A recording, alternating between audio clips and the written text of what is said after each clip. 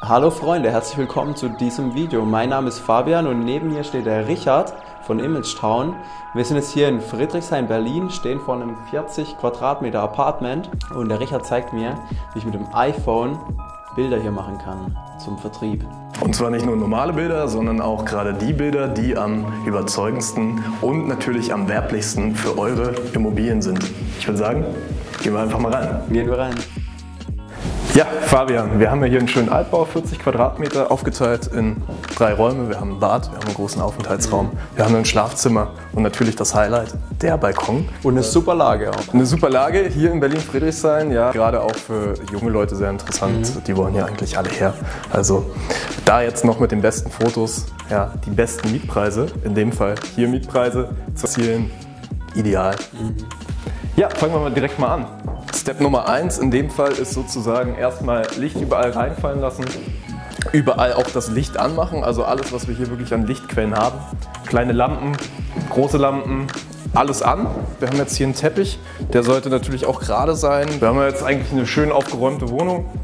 Wir haben Licht draußen, die Sonne knallt hier nicht zu krass rein. Also ideale Bedingungen, um richtig geile Fotos zu machen. Ja.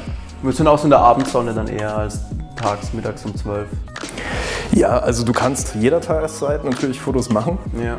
Wenn du jetzt aber nur ein Smartphone hast, bist du auch in gewisser Weise limitiert im Sinne von, du willst ja kein Stativ mitnehmen, du willst kein extra Lichtequipment mitnehmen, ja. sondern es wirklich so einfach wie möglich auch für dich so schnell wie möglich erledigen. Ja. In dem Fall suchst du dir dann einfach einen schönen sonnigen Tag raus. Das kann ruhig ein bisschen bewölkt sein und machst überall das Licht an. Das haben wir jetzt gemacht.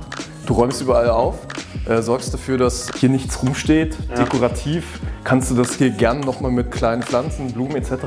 ausstatten. So, und dann kannst du auch schon loslegen. Dann gebe ich dir mal mein iPhone, Richard, und zeig mal, was du kannst, ja? Ja, du hast ja hier ein sehr schönes Handy, was halt auch die Funktion einer Weitwinkelkamera ja. unterstützt.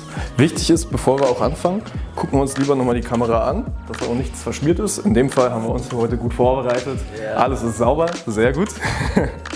Und äh, wir stellen jetzt hier in dem Fall auf die weitwinkligste Kamera das ganze Handy ein. Je nach Modell von dem Smartphone ist das ja natürlich auch unterschiedlich. Mhm. Ich empfehle da wirklich, sich ein Handy rauszusuchen, was auch eine weitwinklige Kamera schon implementiert hat. Weil so können wir auch gerade kleine Räume, ich meine, wir sind hier bei 40 Quadratmetern, das ist nicht die allergrößte Wohnung, wirklich sehr schöne, gut in Szene gesetzte Bilder produzieren. Wir haben hier die Eingangssituation mit der Küche und ich suche mir immer gerade auch die Linien, ja, dass die gerade sind. Und wichtig dabei zu beachten ist im Endeffekt, dass du die horizontalen und die vertikalen Linien relativ gerade hast. Also du hast ja auch so ein Grid. Und wenn du es dir jetzt mal genau anschaust, versuchst du ungefähr, gerade auch hier die Kanten, zum Beispiel an der Decke, an der Wand, mhm. ungefähr mit den Linien, die du hier in, in der Mitte hast, ähm, zu matchen. Und das machen wir jetzt einfach mal halten halt das Handy relativ gerade. Live-Aufnahme aus oder anschalten? Die war gerade nämlich an. Die kann ruhig an sein. Okay, ja. ist egal. Prinzipiell ist es eh egal, weil die Bilder, die kannst du dann nochmal auf dem Handy in äh, diversen Apps nachbearbeiten oder auch, das können wir uns nochmal im zweiten Teil angucken, Und auf dem Computer. Da hast du dann nochmal mehr Möglichkeiten als jetzt auf dem Handy. Okay. Äh, beziehungsweise gibt es auch schon mittlerweile sehr gute Apps, wo du halt auch dich nochmal in den Lichtern, in den Tiefen, in den Kontrasten etc. gut austoben kannst. Mhm.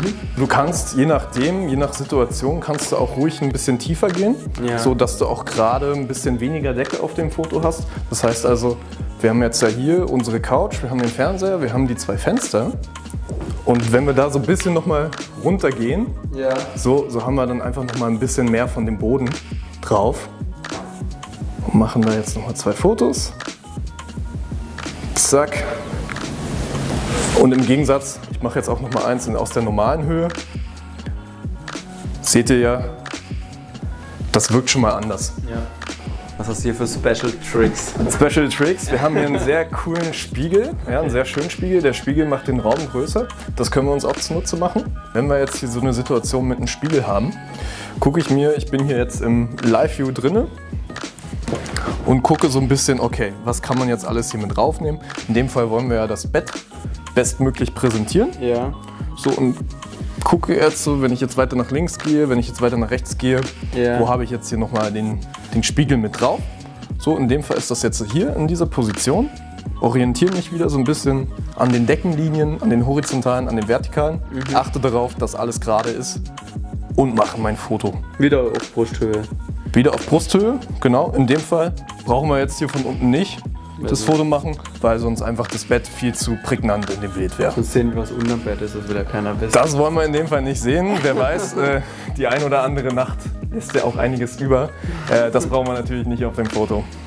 So, und dann pro Raum empfehle ich immer zwei Bilder okay. aus zwei verschiedenen Perspektiven. Auch jetzt gerade so in kleineren Räumen kriegst du sehr viel wenn du eine weitwinklige Kamera an deinem äh, Smartphone hast, kriegst du sehr viel rauf. Ja. Da brauchst du auch nicht mehr als zwei Bilder.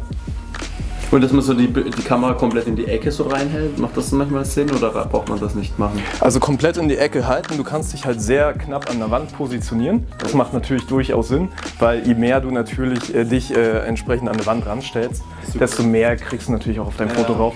Und in dem Fall wollen wir das ja auch. Wir wollen den Raum so groß wie möglich. Äh, mehr Quadratmeter, mehr Verkaufspreis. Exakt, so sieht's aus. Der ein oder andere Interessent interessiert sich durchaus auch für das Treppenhaus. Auch wieder hier haben wir immer dieselben Spielregeln. Wir können hier wieder in eine tiefere Perspektive gehen, sodass wir mehr die Treppe wahrnehmen. Wir haben jetzt auch hier eine Gegenlichtsituation, das heißt also das Licht durch das Fenster kommt hier rein, deswegen ist es so ein bisschen ausgebrannt. Wir haben hier das Licht im Treppenhaus an, das ist schon mal gut, also auch immer generell so viel Licht wie möglich entsprechend anzuhaben damit auch die Kameras in den Smartphones heutzutage, auch wenn sie schon sehr gut sind, noch besser sich anfangen. Genau, dass wir das, das äh, entsprechend das Rauschen, so weit es geht, halt auch reduzieren können. Hier sind wir in einem traumhaften Hinterhof. Super hell, grün. Schön, ja. Was, was möchte man mehr?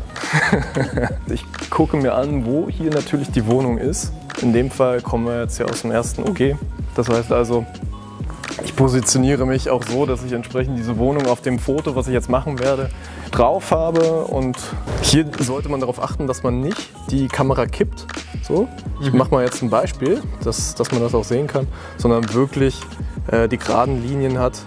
Gerade auch in dem Fall, um bestmöglich das Gebäude einzufangen. Hier kann man dann entsprechend sich auch für die Hochkant-Variante entscheiden. Last but not least, was ich auch mal auch sehr gerne mache, ist so ein sehr kreativer Schuss. Positionierst dich halt in einem Hinterhof, wo du an allen Ecken auch was von dem Gebäude siehst und hältst dann die Kamera einfach nach oben, Richtung Himmel.